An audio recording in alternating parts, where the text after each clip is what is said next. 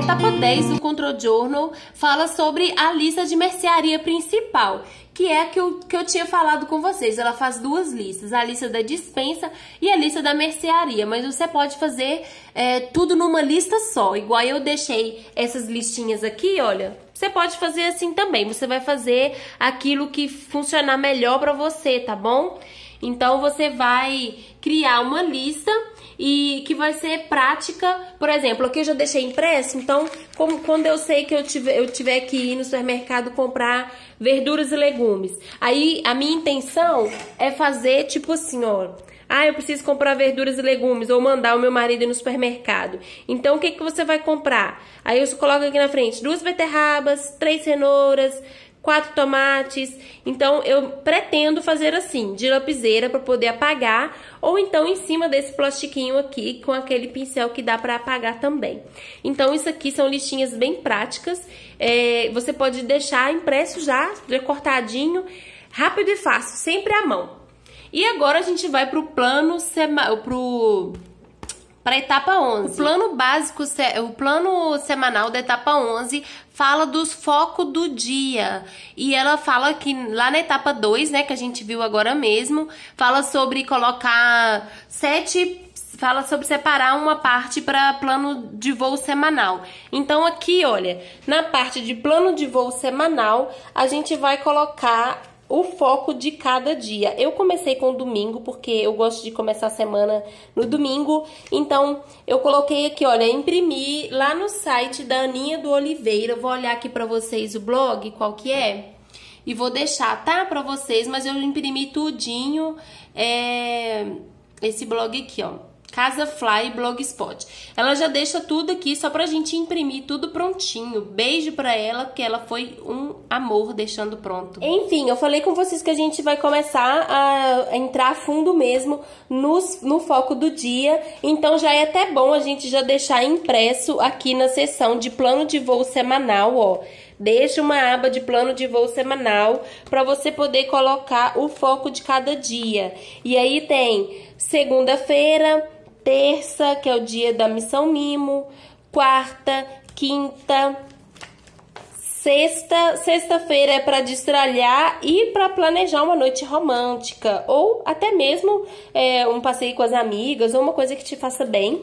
E no sábado, que é o dia em família, já deixa tudo impresso, gente, que a gente vai entrar nessa nessa no foco do dia a partir de segunda-feira, tá? Mas já tem que estar no nosso control journal. Agora a gente vai ver o que tem para o que tem para etapa 12. Enfim, a etapa 12, que é o livro de endereços, é, eu acho bacana, se você quiser fazer, você pode fazer, mas geralmente vende aquelas agendinhas, umas pequenininhas, umas maiores, que tem endereços e telefones já tudo direitinho. Aqui ela fala para você fazer tudo separadinho, A, B, C, D, é, do abecedário, que vai ser muito bacana, as pessoas da sua casa, o, sua, sua família vai gostar de ter essas coisas à mão, é, do que só, geralmente a gente está tão acostumado a ter tudo no celular, né? Mas você pode fazer isso à mão, que é uma, uma forma diferente de cativar a atenção e também no momento que você está apressado, às vezes não sabe onde o celular tá, você já sabe onde que fica o endereço, o telefone do que você precisa. Então, a etapa 12, a minha etapa 12, eu coloquei, eu não coloquei aqui nessas partes. Eu mostrei para vocês já que vai ficar nesse caderninho aqui. Você pode separar um caderninho de endereços ou pode fazer uma aba própria só para isso tá bom? Agora vamos ver o que tem na, na etapa 13. A etapa 13 fala sobre as ferramentas é, da FlyLady, que são dicas, informações. Você pode inclusive criar uma aba aqui com algumas dicas, ou então você pode deixar na, na lista de favoritos do seu, do seu navegador. Aqui eu já tenho os favoritos, olha.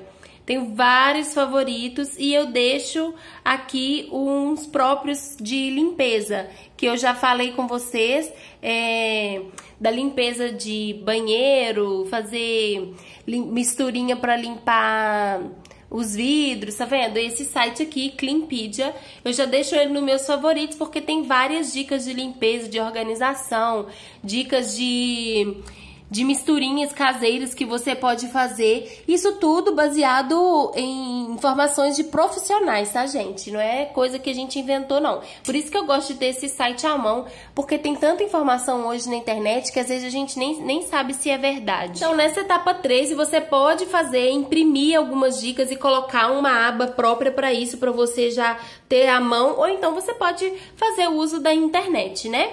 É... A etapa 14, ela fala de divisórias mensais Aqui nesse texto ela dá uma lista bem detalhada de como fazer isso, que você vai colocar os calendários de janeiro a dezembro, e aí você vai colocar os divisores, vai, cada mês você vai trabalhar num calendário. Por exemplo, começando, o meu eu coloquei só, eu não coloquei todos os calendários de uma vez não, coloquei só um. Por exemplo, o mês de maio. Aí eu venho aqui em maio e já marco as datas importantes, o que que tem para fazer, aniversários, eventos. Eu já deixo aqui e de, tenho o planner semanal que eu deixo aqui no planner semanal o que, que eu preciso fazer durante a semana. Ele é um pouco maior, cabe mais coisas, mas às vezes eu tô me perguntando se tem necessidade de eu ter eh, o planner semanal e esse calendário maiorzinho com espaços. Então, talvez eu passe a usar só esse calendário, vou ver como que vai ser daqui pra frente. E te, já tenho esse calendário aqui com os feriados nacionais e estaduais, né? Já falei com vocês. Então vocês podem fazer do jeito que vocês quiserem. Se vocês quiserem fazer uma aba só de agenda igual eu fiz, vocês podem fazer, ou então vocês podem acrescentar janeiro, fevereiro, março, abril, maio, junho, julho, agosto, setembro, até dezembro e ir trabalhando, colocando cada coisa no seu devido mês tá bom? Mas aí você vai fazer do jeito que você achar melhor. Se você achar melhor, você pode acessar o site, que lá você vai saber o que ela fala de acordo nas palavras dela, tá, gente? Mas é basicamente isso, é, é, essa informação para você cada mês você fazer o planejamento, não tentar fazer tudo ano, do ano todo, para você fazer por mês, para você não ficar sobrecarregado e também não passar vergonha esquecendo aniversários e etc. É, a etapa 15 fala sobre números de emergência. E, e também já abrange né, esse caderninho aqui que eu vou deixar. Então eu vou colocar aqui, olha, por exemplo, aqui eu coloquei um papelinho desse aqui para números da minha família. Aí coloquei um outro papelinho para eu anotar número de coisas de plano de saúde e vou adicionar mais um para vou adicionar mais uma aqui de Deixa eu arrancar aqui. Vou adicionar mais um de números de emergência. Por exemplo, números de médico, é, da polícia, do bombeiro. Então, eu vou deixar tudo anotadinho aqui nessa, nessa aba aqui, tá bom? Então, aqui ó, ela, ela ainda coloca aqui, liste o número dos médicos pediatra, médico geral, médicos especializados, centro de controle de envenenamento, hospital, veterinário. Aí ela fala que você pode sempre precisar desses números.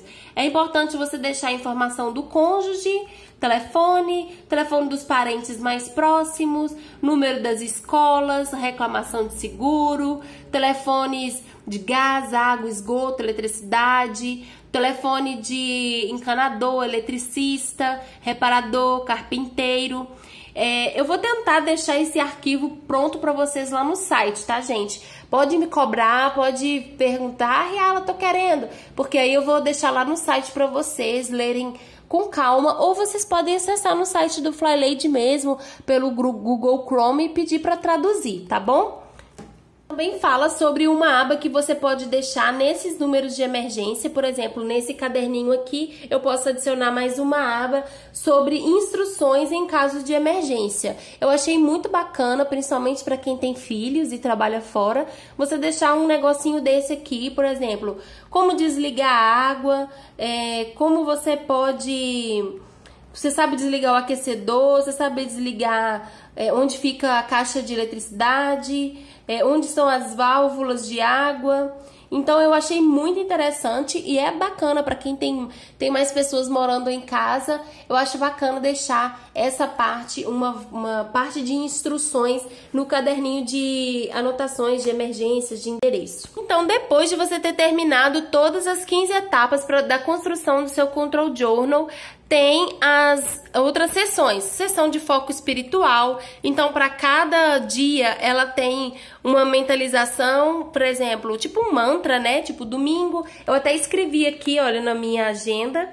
Domingo é amor, disposição, felicidade, beleza, abundância, paz e saúde. É sempre bom, né, gente, a gente ter pensamentos positivos. Por isso que eu coloquei aqui na minha, na minha agenda, no plano semanal, para sempre estar tá à mão, para eu sempre estar tá lendo e mentalizando coisas positivas. Então ela volta a falar do horário semanal, que geralmente que é o foco da semana, né? É...